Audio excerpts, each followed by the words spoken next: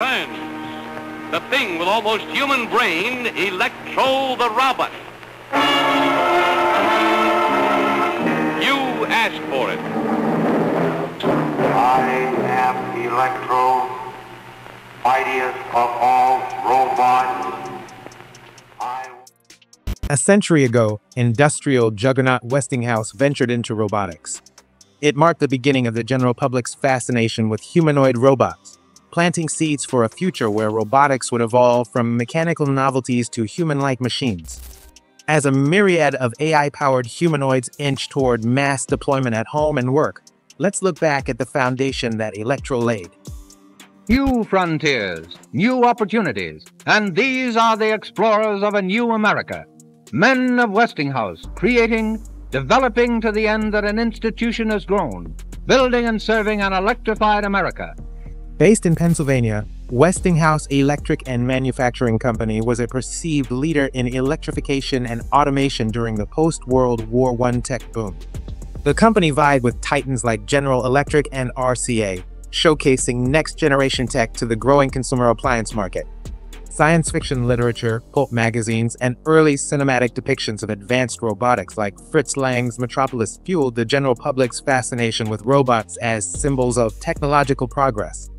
Founded in 1886 by George Westinghouse, the company was well established by the 30s, pioneering AC power systems and electrical infrastructure. As a leading industrial conglomerate, Westinghouse's role in the 1930s was akin to today's diversified industrial giants like Siemens or GE. Westinghouse's growth stalled during the Great Depression, but the company continued introducing new appliances like electrical refrigerators and washing machines.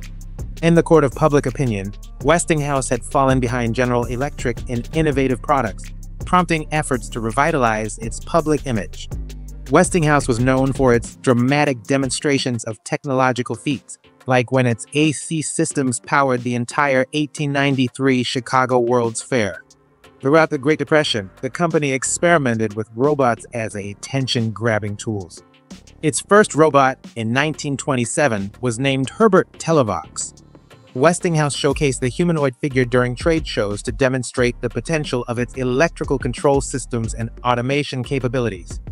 Herbert responded to tone signals via a telephone and performed basic tasks like lifting a receiver and turning switches. It was rudimentary, but the robot's ability to mimic basic human actions captivated audiences. A new and improved version of the robot, named Willie Vocalite, emerged a few years later. It featured light-sensitive technology, meaning it responded to commands via light instead of tone signals. Its actions were basic but more interactive than its predecessors. Westinghouse wasn't alone in venturing into robotics during this era. In late 1920s London, Captain W.H. Richards and Alan Reffell built Eric Robot out of aluminum and electric motors. As one of the first publicly displayed humanoid robots, Eric could stand, sit, and deliver pre-recorded speeches. Also in the late 20s, Makoto Nishimura developed Gakutensoku, which is considered the first Japanese robot. The robot's aesthetics were intended to symbolize the symbiotic nature between humans and machines. By the late 1930s, Westinghouse was ready to take things to the next level. Early experiments showed that the appeal of robots could extend far beyond engineering conferences. Joseph M. Barnett led a team of engineers tasked with developing a full-sized humanoid robot spectacular enough to capture attention at the 1939 New York World's Fair. The team designed Elektro to mimic human behaviors in a way the public had never seen before. The 1939 fair's theme was the world of tomorrow. Elektro was a hit at the fair, presented in the Westinghouse Pavilion as part of an exhibit called the Hall of Electrical Living. Standing 2.1 meters or 7 feet tall, Elektro weighed 120 kilos or 265 pounds. Its aluminum build gave it a shiny, futuristic appearance. It operated using a series of relays and motors, controlled by electrical signals. The robotic system was powered via a tethered connection that limited its mobility. Commands were sent via a microphone and a push-button control panel that activated specific relays. My brain is bigger than yours. It weighs 60 pounds. I can do many things if you use me well. Its speech came from a built-in phonograph that delivered up to 26 phrases. It works just like a telephone switchboard. If I get a wrong number, I can always blame the operator. Thank you. And Elektro's leg motors powered simple bipedal locomotion. The robot moved its arms up and down, performed gestures, and held objects. It could raise its fingers one by one to count to 10. Its head could turn side to side. With its primitive photoelectric cells, Elektro could detect visual cues and respond to changes in light. The metal humanoid is perhaps most remembered for its bad habit. Oh, yes, Elektro, you do need a light too, don't you? All right, here you are.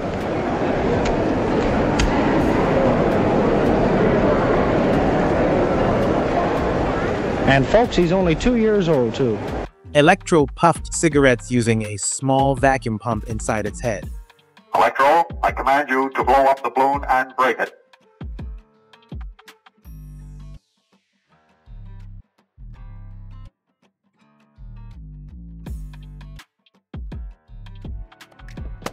The spectacle received significant news coverage. A 1939 film produced by Westinghouse called The Middleton Family at the New York World's Fair immortalized the moment.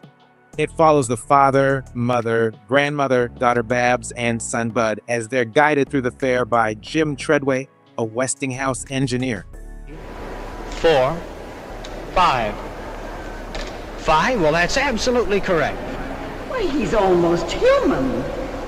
If he wasn't so big, I'd take him for an engineer.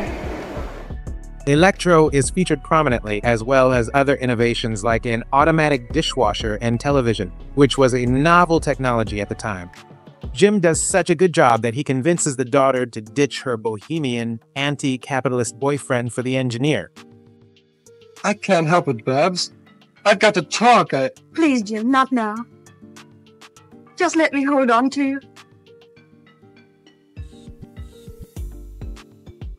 Her choice aligns with the broader cultural narrative of the time that embraced innovation and industrial progress as the key to a prosperous future. The movie was a major financial undertaking for Westinghouse. It featured professional actors, carefully staged scenes, and was shot on high-quality film stock that was expensive during the era. The movie was shot before the actual fair, designed to introduce visitors to the technological marvels they'd encounter at the Westinghouse Pavilion.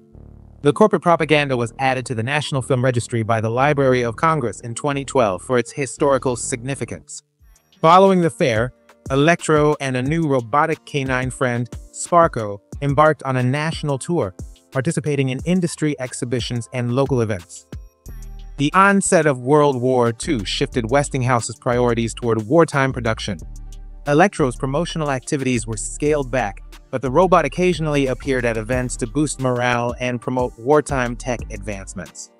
Elektro continued as a promotional tool throughout the 40s, but its novelty waned. In a simple villa on the outskirts of Bristol lives Dr. Gray Walter, a neurologist, who makes robots as a hobby.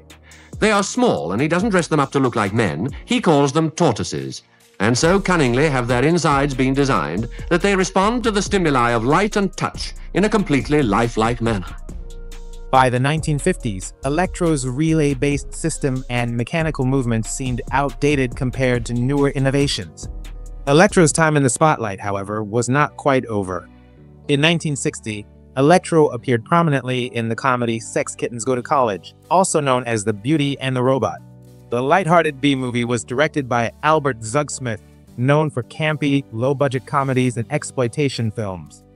Sex Kittens follows Dr. Matilda West, a brilliant professor played by Mamie Van Doren.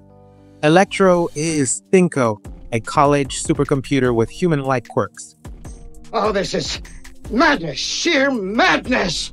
Thinko must be wrong! The greatest electronic brain in the world? What does he say?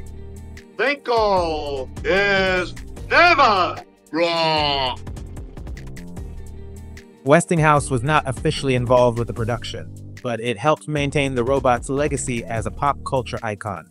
As a new generation of industrial robots emerged, Elektro was casually retired and placed in storage at a Westinghouse facility. The robot faded into obscurity until the late 80s when it was rediscovered by technology enthusiasts. Elektro was restored to working condition, with parts of its original design carefully maintained or replicated. Today, Elektro lives at the Mansfield Memorial Museum in Ohio. It serves as a historical artifact, harkening back to the optimism of the world of tomorrow era. As a new wave of humanoid robots inch closer to mass deployment, Elektro is likely to remain relevant as a historical touchstone though its capabilities pale in comparison to humanoids that followed like Asimo, Atlas, Sophia, the Tesla Optimus, and countless others, Elektro continues to inspire modern innovators. That's the most remarkable thing I've ever seen. Boy, what a guard that guy'd make on my football team.